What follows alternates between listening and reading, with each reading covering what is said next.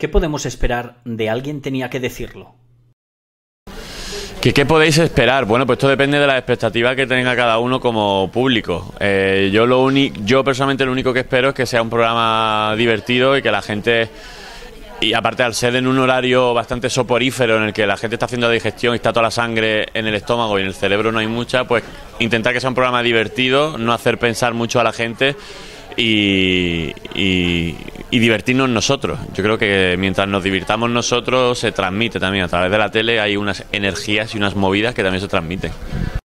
Esta temporada te hemos visto hasta en más gente.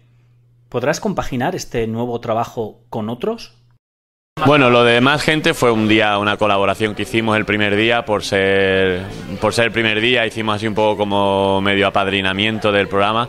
Eh, sí que hemos tenido que dejar algunas otras cosas, como por ejemplo el óxido nitroso de Canal Plus, pues por incompetencia de canales y demás. Yo por mí me hubiera encantado, pero bueno.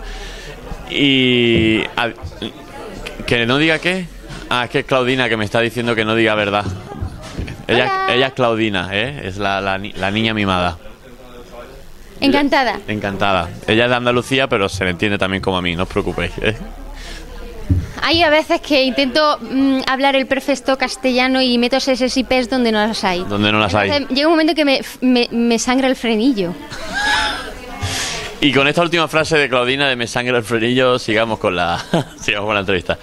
Eh, sí, claro, que cambia algo porque un diario. Ten en cuenta que de lunes a viernes un diario, pues bueno, a lo mejor tendremos que aminorar un poquito la gira de teatros y demás, pero bueno, mientras haya energía y haya vida, vamos a intentar llevarlo todo para adelante. Raúl Cimas ha cogido el testigo al frente de óxido nitroso. ¿Qué le dirías?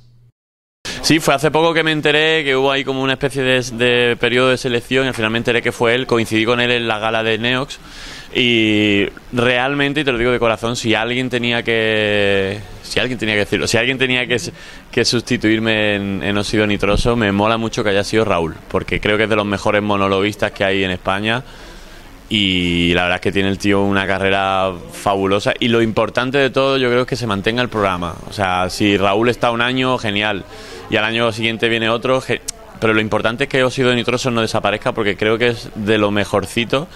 Eh, que hay en la televisión, porque es una joyita que al que le guste la comedia lo sabrá valorar independientemente del, del, presentador, pero vamos, que le deseo lo mejor a Raúl, la verdad.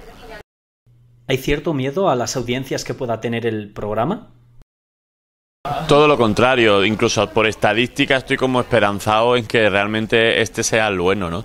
Miedo jamás, no, no, no, no. Las cosas, pero, pero como en la vida en general, pues eh, apuestas por cosas y si no funcionan, pues no funcionan. Pero miedo hubiera sido el, que no hubiera salido ni siquiera la oportunidad, ¿no? Entonces, para nada. Mm, todo lo contrario. O sea, estoy, de hecho, estoy como extra positivo y creo que va a ser un programa que va a durar mucho tiempo. Si no sucede, pues no pasa nada.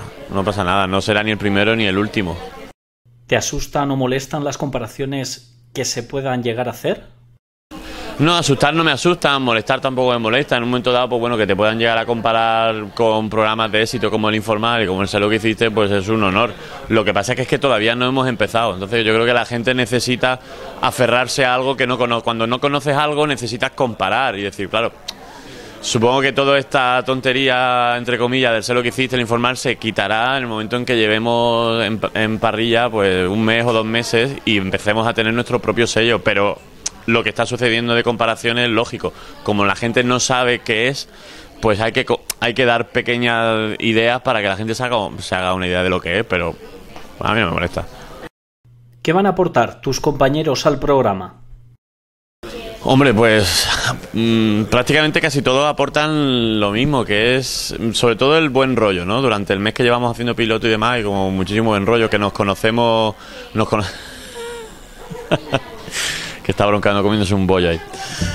De hecho, ven aquí, ven aquí. Es muy divertido ver comer a Broncano, ¿eh? Porque come como... como si a lo mejor hubiera comido ya 7 kilos de torreno y no le cabe más. Tiene comida hasta aquí, pero él sigue comiendo. Es muy divertido.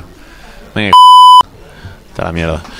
Pues eso, eso. Yo supongo que la complicidad y la confianza que hay entre nosotros y el poder disfrutar de un programa en el que nos dan pie a poder improvisar cositas y eso te da pie a que yo me pueda sorprender por lo que puede hacer el subnormal este o por lo que Claudina venga con una historia. el poder sorprendernos, el que nos respetamos y nos admiramos como, como profesionales y, nos, hacemos muchas gracias el uno al otro. Entonces yo creo que podemos aportar eso, el factor sorpresa. ¿Sois los que teníais que estar? ¿Te hubiera gustado contar con algún otro cómico? Cualquier combinación hubiera sido buena. A día de hoy, y por ser también políticamente correcto y porque creo que tiene que ser así, o sea, yo creo que los que estamos somos los que teníamos que estar. Y como admirar, pues imagínate, a muchísima gente, a muchísima gente, eh, pero ya no para tenerlo en el programa, sino para tenerlo en tu vida, para compartir escenario, no sé, eh, poder trabajar con gente como, como Keke, como Iñaki Urrutia, JJ Vaquero, como Javier Cansado, Corona, en fin, son gente que desde, desde hace muchísimos años los admiro y ahora poder tener la suerte de, de, de contar con su amistad, incluso de poder trabajar y compartir escenario, pues es uno de los grandes lujos que tengo yo desde que me dedico a la comedia, la verdad. ¿Tienes algún tipo de meta? ¿Te gustaría probar suerte en una ficción?